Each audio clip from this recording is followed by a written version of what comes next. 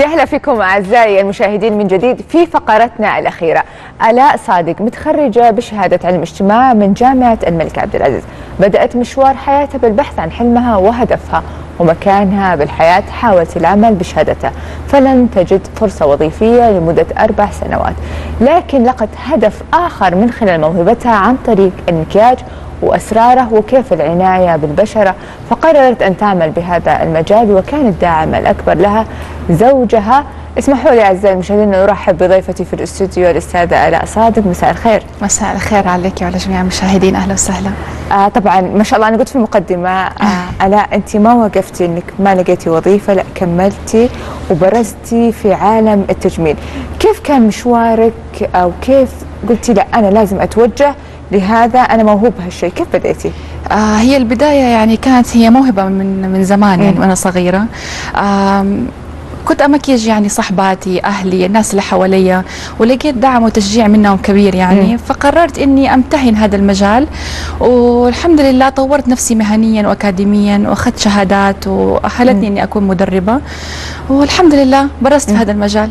يعني سبحان الله الحين الموهبة م. أنت بس ما اعتمدتي على موهبتك ولا جلستي تستنين وظيفة. فقررت إنك تاخذينه حتى إنه دخل لك أو مشروع لك صحيح أكيد, أكيد. يعني الحين لما تتحول الموهبه إلى آه إلى احتراف. صح. وانت قلتي نمتيها كيف كيف متى بديتي فعلا خط الاحتراف الاء؟ يعني أول شيء قبل أربع سنين إيه؟ اخذت قررت إني أبدأ بداية صح إنه أكون مدربة معتمدة دوليا ومحليا هذا الشيء أساس قوي يعني وأخذت دورات عند خبيرين يعني خبراء عالميين مم. في المكياج الحمد لله يعني بعد كده أهلتني إني أنا أكون مدربة وأعطيت العديد من الدورات المبتدئات والمحترفات عارفة لا هنا يجي سؤالي لك إيش الأسرار اللي أنت تتمتعين فيها في عالم المكياج سر الإبداع عندك وأنت كمان خبيرة في البشرة. يعني هذا يكمل بعضه صراحة المكياج والبشرة. أكيد. سري بسيط. آه بالنسبة لي إنه المرأة كائن جميل. مم. ووظيفتي أنا إني أبرز جمالها يعني أبرز ملامح الجمال فيها. آه وكل يعني كل وحدة لها ميزة تميزها عن غيرها. فلازم نكتشفها إيش هي ووظيفتنا إحنا نبرزها. مم. بالنسبة للبشرة لازم تعرفي يعني نوع بشرتك أول تعرفي اللي هو المكياج اللي يناسبها كيف تختاري أساسك. كيف كذا يعني هذا هو. مم. عارفة الاء يعني آه انت قلتي انك انت أخذتي دورات أكيد. وطورتي. لين ما وصلتي انك انت آه صرتي مدربة معتمدة كمان وكمان من أحد الشركات العالمية. هذه كلها قصة كفاح وبين قوسين نجاح. تكلمينا عن هالقصة؟ قصة عارفة أي قصة كفاح بالنسبة لي حلم. كانت حلم وحطيت هدف لحلمي. آه وبعد كده الحمد لله إني ماشية في هذا الهدف مم. وقررت أطور من نفسي. وبالنسبة لي آه، سقف طموحي عالي شوية. ما له حدود. بدل إنك وصلت لبعض الشركات أكيد. عالمية. ولو حطيت له حدود حوقف عند نقطة مم. معينة. فلازم أكون على تطور أكثر بأكثر في هذا المجال. يعني أعرف المستجدات والأشياء الجديدة والأشياء في عالم التجميل. طب كيف كيف قدمتي لهم؟ كيف خاطبتي آه يعني عن خلال اللي هو طبعا مندوبين من الشركة هذه عندنا مم. في المدينة. آه صار تواصل بيني وبينهم وشافوا إنه أنا أكثر وظيفة مناسبة لها إني أكون خبيره تجميل مم. فصارت وظيفتي إني أدعم نقاط البيع مم. في هذه الشركة والحمد لله لقيت تفاعل من الناس يعني اللي يحبوني كثير وواثقين في رأيي عارفة أنا كمان استخدمتي ال social media.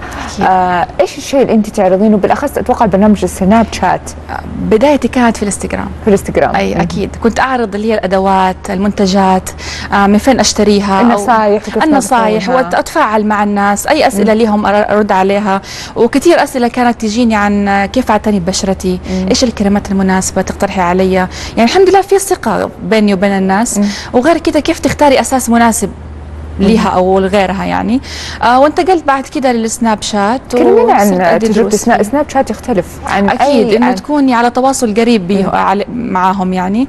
فكنت أدي دروس بدأت بشيء خفيف كيف ترسمي حواجبك كيف تنظفيها كيف تعملي اي لاينر فالحمد لله لقيت تجاوب وتفاعل كبير معاهم. الحمد لله. أنت كمان مختصة بالعرايس. أكيد. يعني اختصاص العرايس ترى مو بسهل يعني أنا يوم زواجي ما حسلم نفسي لأي واحدة. صح صادقة. كيف لقيتي هالتجربه تكلميني كيف نلتي الثقة هذه؟ أكيد كاختصاص عرايس هو حاجة صعبة وتحدي صعب بالنسبة لي بس الناس لما يجوا يسمعوا مين الاء عارفين الاء مين. واثقين في شغلي وشايفينه في الإنستغرام والسناب فالحمد لله بلاقي محبة منهم والحمد لله بيكونوا مبسوطين وبكون على تواصل مع عرايسي ترى قبل بأسبوعين من فرحهم.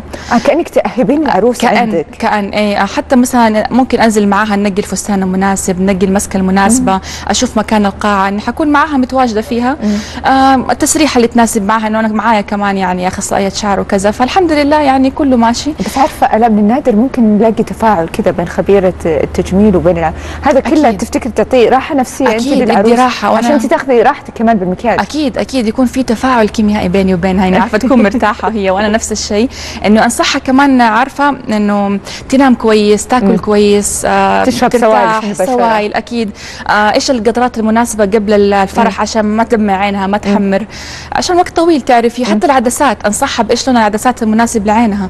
وممكن كمان أنزل أساعدها في اختيار اللي هو المكياج الأغراض اللي تشتريها في شهر طب هذول العرايس طب أنت كمان تقدمين دورات للبنات. كلمينا عن دورات التجميل اللي آه. كم مدتها وإيش الأشياء اللي تركزين أكيد. أيوه الحمد لله إنه في هذا المجال إني بدي دورات آه، مبتدئات ومحترفات. يعني من البداية وللإحتراف.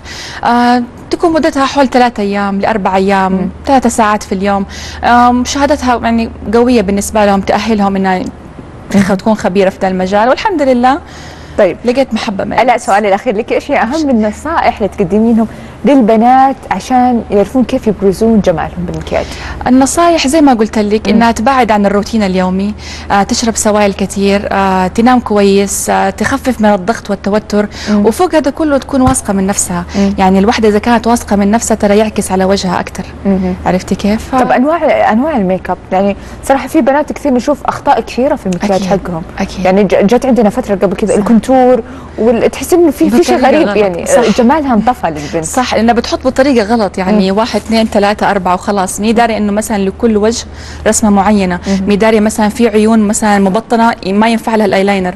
في عيون جاحظة لا تحطي لها ألوان فاتحة. يعني بتكون ما, ما هي على دراية بدا الموضوع. فأنا وظيفتي كخبيرة في دوراتي وفي في دروسي في السناب أبين لهم الصح من الغلط.